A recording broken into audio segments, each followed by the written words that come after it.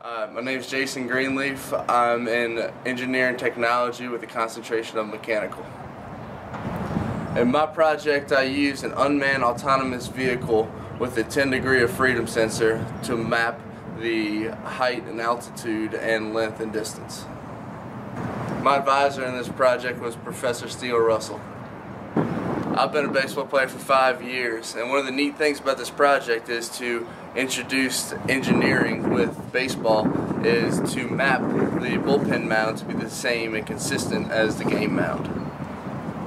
Being a student athlete has been very rewarding with not only your professors and your coaches looking after you, but you also have a challenging curriculum that can provide you with a great future after you're done.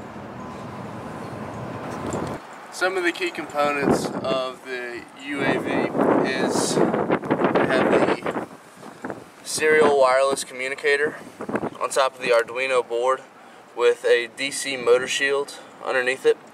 And on the back side we have a 10 degree of freedom sensor which is all hooked up to this one Arduino. There's also four DC motors in here that are controlled by the battery pack.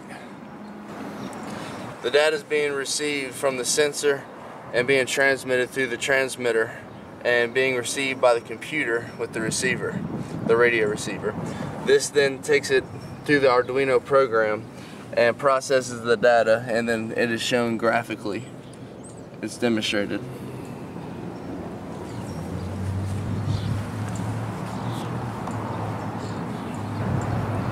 This project is made possible thanks to a grant from the Office of Technology in the Southeastern Baseball Program. I'm currently an intern at Intralox. It has been a great experience and I'm looking forward to a rewarding career in engineering technology.